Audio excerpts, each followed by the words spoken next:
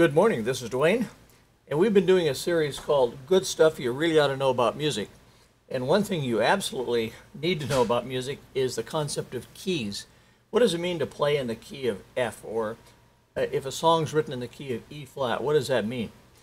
Uh, some people go through life and they play the piano or sing in the choir or something, and they still ask, How do I know what key this is in? I just had a guy ask me the other day, uh, This has two flats. What, what key is that?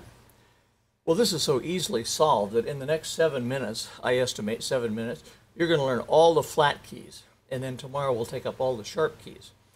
Uh, first of all, what does it mean to play in the key of C? It means the song is based on the scale of C.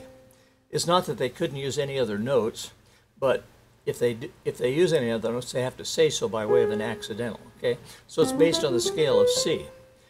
What does it mean to play in the key of F? Means it's based on the scale of F. What does it mean to play in the key of B flat? It means it's based on the scale of B flat. So if I play in the key of B flat,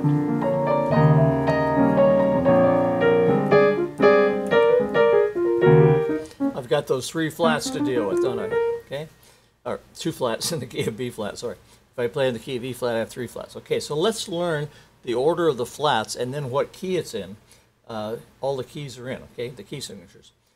The order of the flats is real simple to remember because you just say the word bead, B-E-A-D. Those are the first four flats. B flat. If there's one flat, it's always B flat. If there's two flats, it's always B flat and E flat.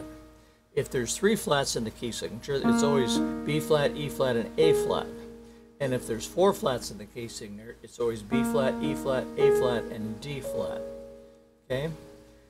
Now, if there's uh, five flats in the key signature, it's always B flat, E flat, A flat, D flat, and G flat.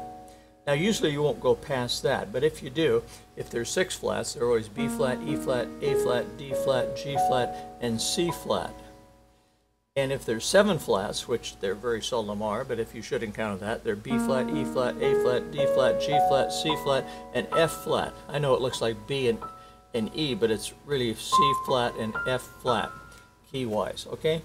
So, if you have one flat, what is it? It's always B flat. So if you see one flat in the key signature of a song, it's B flat in the key signature. If you have two flats, B E. If you have three, B E A. If you have four, B E A D. That'll probably do you for the most part if you just remember the word bead. But if you want to also remember the last uh, three flats, say something like go catch fish. So the order is B, E, A, D, go catch fish. B, E, A, D, G, C, F. Okay? Now, if, if you have no sharps or flats, you're in the key of C because you're based on that scale of C. If you have one flat, you're in the key of F. Just memorize that. If you see a B flat in the key signature, uh, you're in the key of F because it's based on that scale of F. After that, it's real easy to remember because if you see two flats in the key signature, they're always what? B flat and E flat. And the second to the last flat is the key. Well, E flat's the last flat. What's the second to the last flat? B flat. So you're in the key of B flat if you got two flats, B flat and E flat. If you have three flats in the key signature, B flat, E flat, and A flat, what key are you in? The second to the last flat, which is E flat. If you have four flats, if you see four flats in the key signature, B, E, B flat, E flat, A flat, and D flat, what key are you in? You're in the key of A flat. If you see five flats in the key signature, B flat, E flat, A flat, D flat, and G flat, what key are you in?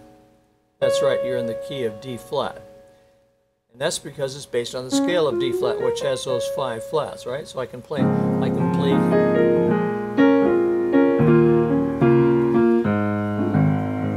I can play in the key of D flat based on those five flats, okay?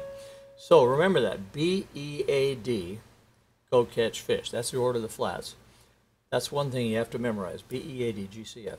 And then the second thing you have to memorize is to find the key of a song, take the second to the last flat, and that is the key.